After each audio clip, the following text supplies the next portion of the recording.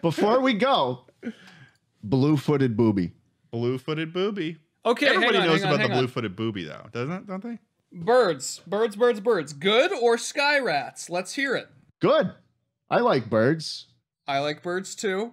I'm I'm real suspicious of those pigeon fucks. I think we can trust them. I think we can trust them. I will ask you a question.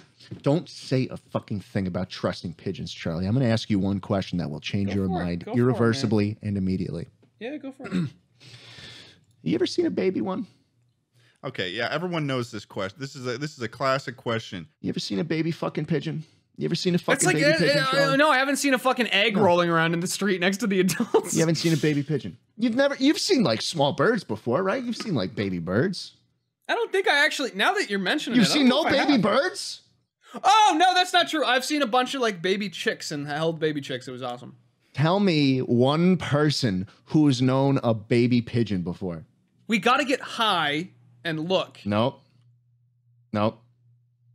Elevate, Baby pigeons don't exist. dude. I it's I. Okay, fine, fine, fine. You win. I haven't seen a fuck. They can't be trusted. They can't be trusted. Why are they so unafraid when you walk towards them in New York, They're York? used to it. Because They're Because used when to they're it. babies, they, they, want look you like to this. get close. No.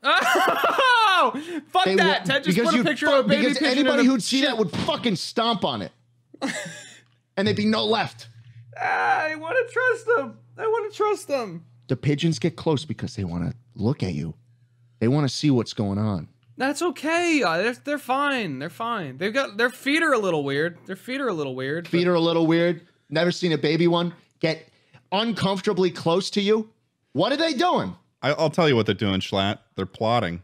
They're plotting. Exactly. They get fucking close to you, and there's no good reason. They don't know how to fire There's two no good neurons at the same Charlie. time. How are they gonna? What are they gonna plot? What are They're they gonna plot? What are they gonna plot? They're watching.